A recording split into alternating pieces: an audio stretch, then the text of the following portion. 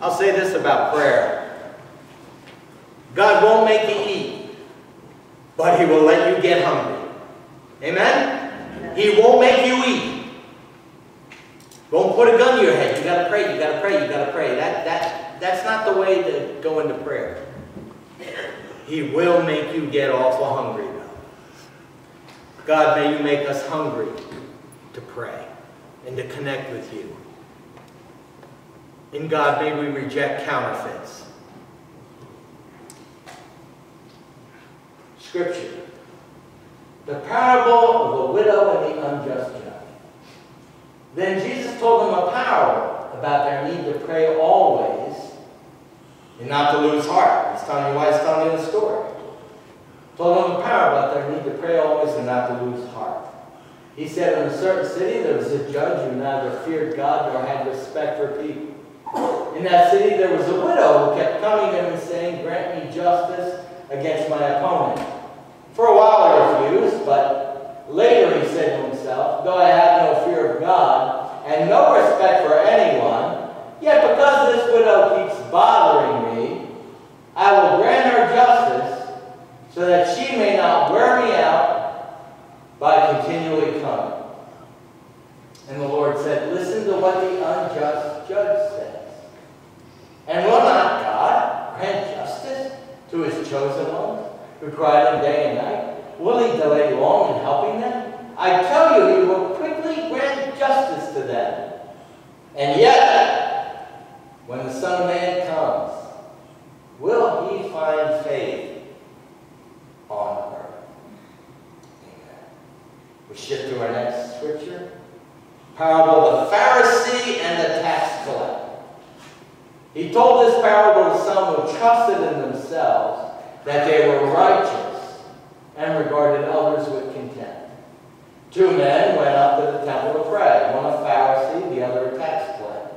The Pharisee, standing by himself, was praying thus, God, I thank you that I am not like other people, thieves, rogues, adulterers, or even like this tax collector.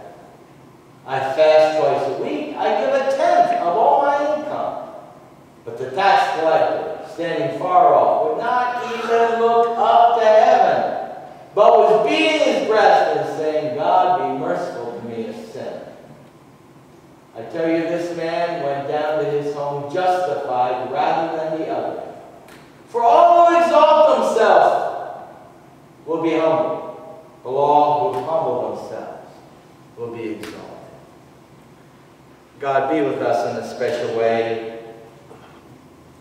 as we feast at your communion table and as we learn more about prayer. Be with us in a special way. It's in your name we pray. Amen. We are always either drawing near to God or falling away. There is no holding pattern. You're either getting closer to God or you're getting farther away. There's no such thing as a holding pattern with God. We are called to pray and not lose heart. For the first parable, just three, I pray quick foci, focuses, however you want to say it. There's a focus on principle. There's a choice here. Jesus, first verse, Jesus said, I'm telling you this so you pray and don't lose heart. So there's a choice, there's a principle. Going on with God or giving up on God. I have had people say to me, I'm retiring from this faith thing. I can't take it anymore. Somebody who just was so profoundly affected by a loss that they just said, I'm, I'm out of here with God. And they know what they said. Just walked away from the Lord. When life gets tough, there's a choice. Going on with God or giving up on God. And that can take different shapes and sizes. But there's a, a focus on principle. I pray that we go on with God. A bunch of people walked away from the Lord in John chapter 6. Peter said, To whom else can we go? You got the words of eternal life. There's also a focus on purposes, on, on, on persons, I'm sorry, focus on persons. There's a widow and a judge. There was nobody on the face of this earth more powerless than this lady, and there was no one on the face of this earth more powerful than this judge. He didn't care about God. He didn't care what people thought of him. He was corrupt. And yet, we hear this story. The, the translation literally was, this lady may come back and slap me in the face. That's the, the literal Greek in this. And the story is here that if a corrupt judge, who don't care about people, don't care about God, if he will even respond to a powerless lady's request, how much more will a loving God respond to his people who are talking to him? Amen? If, if this guy can do something nice, this rogue, if this guy can do something nice, how much more can a loving God? And then there's a focus on practice. Help us, Jesus. And yet when the Son of Man comes, will he find faith on earth? He, it doesn't say will he find prayer on earth. The prayer thing is a faith thing. It's interesting, two things were not said. And when the Son of Man comes, he will not find faith. Or it doesn't say, when the Son of Man comes, he will find faith. It's a question asked to you and to me in our relationship with God. Will God find faith in us? Again, comparing God to this rogue judge. If a rogue, if a rogue judge can do something kind, how much more will the loving Father? You know, when Jesus asked this question, to me it reminded me of, I flashed back, and I had a couple flashbacks today. Um, in the garden, I never heard that song in church. I was, I went to an Episcopal church. We didn't sing songs like that. I learned that song because my mother sang it when she cleaned the house. So that, that's one of, uh, you know, that's one of my memories. I also remember my mom saying to me as a little boy, can you say thank you? It was a loaded question.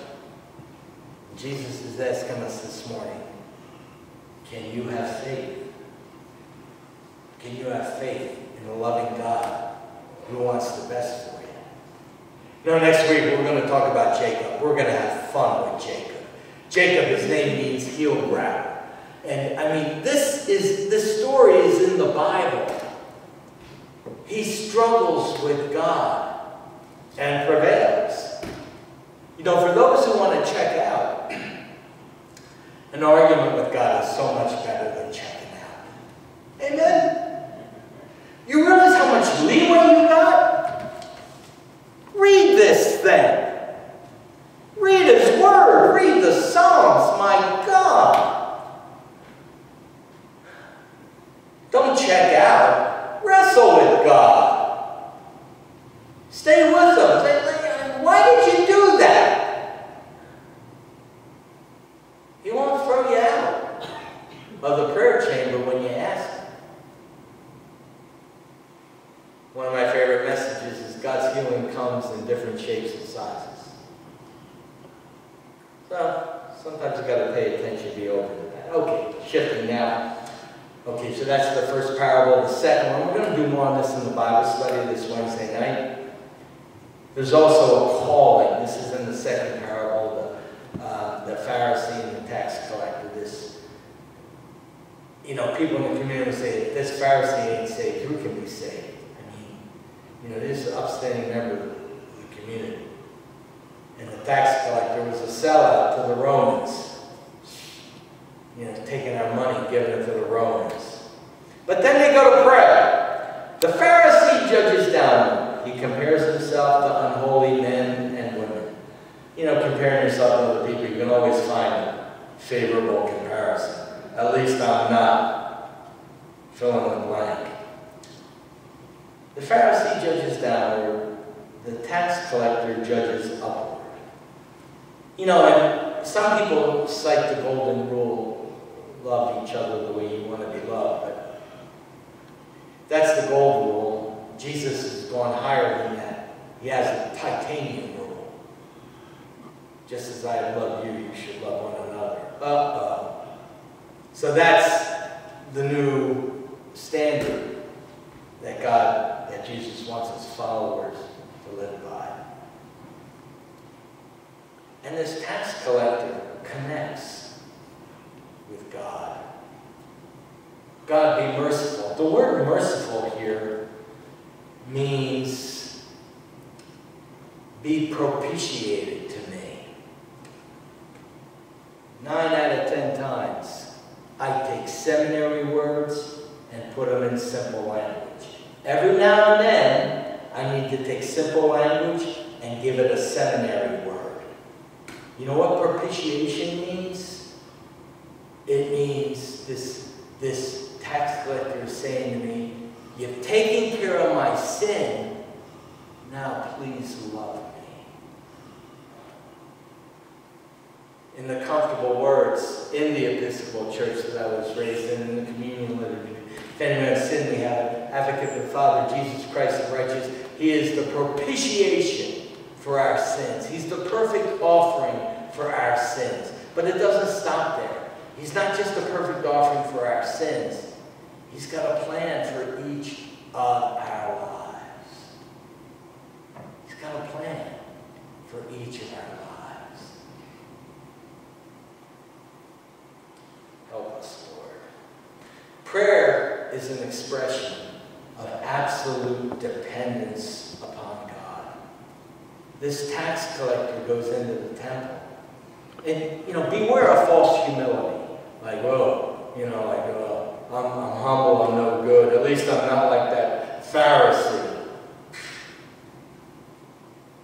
That's a false humility. You go to God with your need. God, I need your help to open that door. God, I need your help to cross the intersection. Man lost his life at the inter intersection here.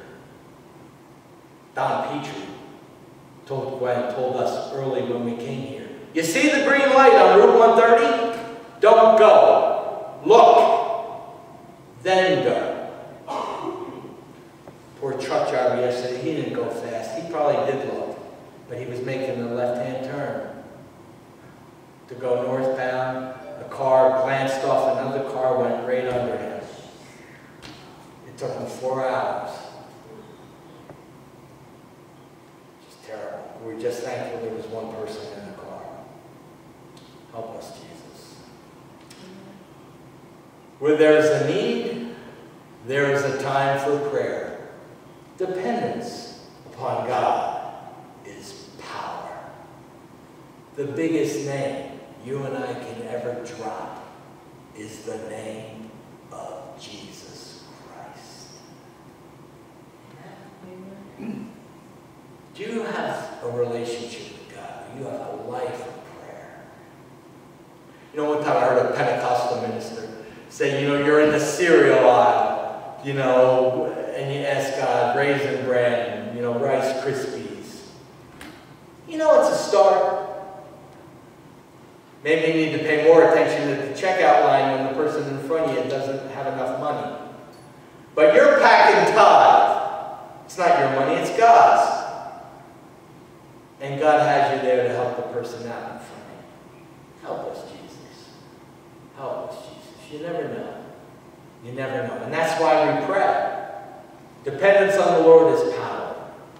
Help us to pay attention, Lord, in this new year. Republicans need to pay attention to Democrats. Democrats need to pay attention to Republicans. Independents don't need to think they're superior. We need the Lord. We need the Lord in the church. I had a professor one time said, I went to a conservative seminary. He said something like this. This is my spin. I went to a conservative seminary. I learned how to believe. I went to a liberal seminary and I felt like I was loved and accepted. Amen. Help us, Lord. Help us, Jesus.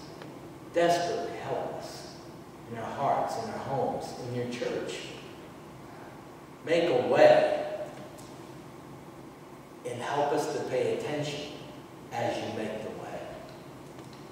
Amen. Let's pray. Lord, we love you. We need you. Be with us in this time. And Lord, uh, have your hand upon us and guide us. And bless this time of Holy Communion. Be with us in this sacrament. Sacrament is just a fancy word for connecting with you.